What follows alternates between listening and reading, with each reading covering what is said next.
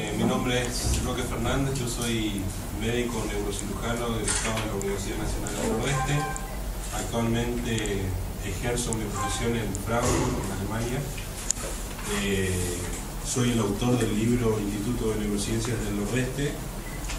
que siempre cuento, esto empezó como una curiosidad personal, profesional, en mi, estadía en Estados Unidos, cuando por primera vez vi en un hospital mundo y cuando traje la idea por primera vez tuve la suerte de encontrarme en Corrientes con un grupo de personas a las que evidentemente les generé las mismas inquietudes que yo tenía, se contagiaron de la idea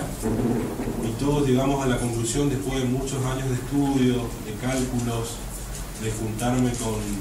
con asesores en lo económico, en la salud, de que esto es posible, de que Corrientes tiene las herramientas necesarias para llevar esto adelante, de que Corrientes tiene los profesionales necesarios para que esto funcione. Y bueno, en definitiva, es cuestión de comprometerse cada uno desde lo individual eh, para que esto sea una realidad de Corrientes. Eh, el primer paso para lograr esto que ustedes vieron recién en el video es el que vamos a presentar hoy, que es el lanzamiento de lo que futuramente será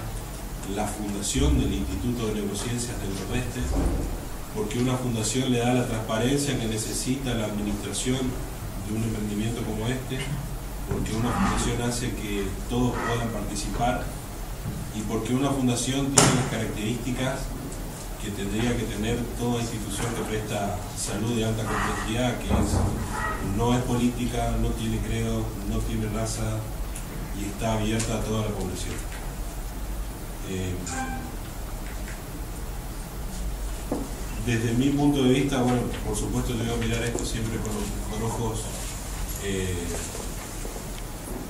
poco objetivos, porque este libro lo escribí yo, para mí esto es totalmente factible pero juntándome con gente que sabe del tema y que estuvo involucrado en, desarrollos similares, eh, realmente uno se da cuenta que cerca que estamos los correntinos de tener esto. Tenemos la Facultad de Medicina que egresa profesionales en todas las especialidades de la medicina y que desgraciadamente exporta un gran número de ellos.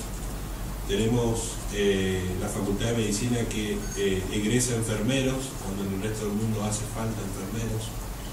Tenemos la Facultad de Arquitectura e Ingeniería acá enfrente, en Resistencia, y no tenemos un edificio que sea admirado eh, desde lo funcional por su funcionalidad edilicia, no tenemos un edificio ecológico y tenemos la Facultad de Ingeniería Ambiental acá enfrente. Está todo dado en la zona, para que Corrientes siga siendo lo que siempre fue, que es prestadora de servicios de salud, siempre a la vanguardia de la región.